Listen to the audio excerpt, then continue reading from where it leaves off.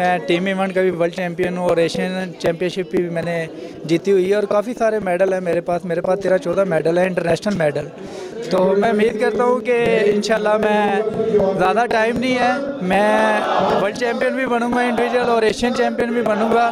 بس یہ ہے کہ تھوڑا سا گورنمنٹ کی جو ہے، سرپرستی جو ہے ہمارے سر پہ ہونی چاہیے، جیسے سب کھیلوں پہ ہے۔ ہمیں ان سے یہی شکوہ ہے کہ ہم اپنا پرفارم تو کر رہے ہیں میڈل لے کے آ رہے ہیں۔ مگر جو میڈل کی پرائز ہوتی ہے گورنمنٹ کی طرف سے، وہ ابھی تک نہیں ملی۔ عالمگیر شیخ پریزیڈنٹ جو ہمارے ہوتے تھے سنوکر کے، تو انہوں نے مجھے دو ہزار سولہ میں بولا تھا کہ بابر، اگر تم کوئی چیمپئن شپ جیتو تو میں آپ کی جاب کا کریں گے۔ تو میں اسی ٹائم جیت گیا تھا، تو میں نے بولا تو وہ تب سے لے کے ابھی تک مجھے لاری لگا رہے ہیں۔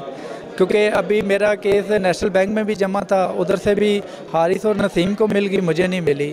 اس کے بعد انہوں نے بولا کہ بابر بیٹا تمہارا ہم نے اسٹیٹ بینک میں جو ہے نا پرپوزل بھیج دیا ہے تو انشاءاللہ ہو جائے گا۔